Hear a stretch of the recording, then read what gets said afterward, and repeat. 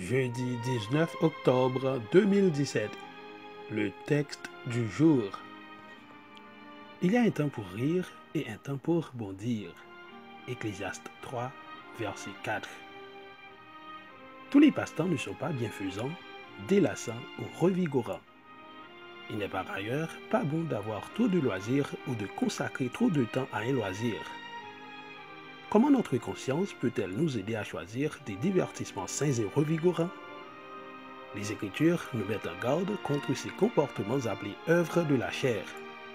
Fornication, impureté, dérèglement, idolâtrie, pratique du spiritisme, inimitié, querelle, jalousie, accès de colère, dispute, division, secte, envie, soulerie orgies et choses semblables. Paul précise, ceux qui pratiquent de telles choses n'hériteront pas du royaume de Dieu. Galates 5, versets 19 à 21.